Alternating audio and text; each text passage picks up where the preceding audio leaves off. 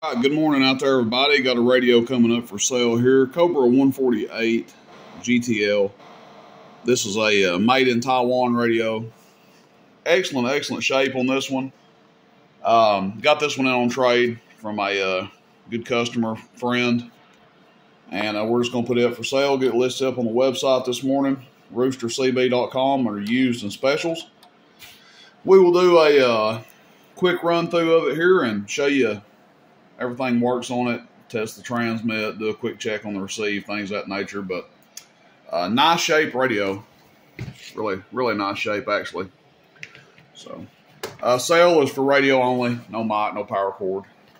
Um, I haven't been carrying the five pin mics because they really take forever to sell. So, um, best bet is probably get an adapter if you can't find a five pin mic somewhere. Just not enough radios with five pins on them to to justify carrying five pin microphones. But uh, let's test this guy out. We'll just key up our Cobra 90, show you it receives.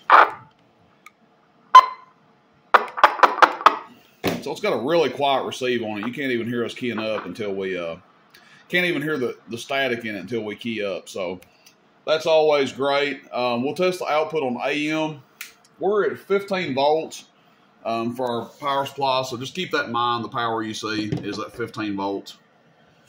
Uh, top scale, 25 watt slug. This is average power on AM. Hello. So uh, there you go. It's keying like three, two and a half, three watts, and going to about five average. Hello, Oh, audio. Maybe five and a half if we really get into it. Uh, PEP, hello, check one, two, three, audio, check one, two, three, audio, about 18 watts or so. Hello, check one, two, three, audio. That is uh, AM, so let's just go to sideband. This is lower sideband, by the way. Check, check, audio, check, check, audio, check, check, audio, about 20 watts, and this is upper sideband. Hello, check, check, audio, one, two, one, two, three, audio, check, one, two, three, audio, check, one, two, three.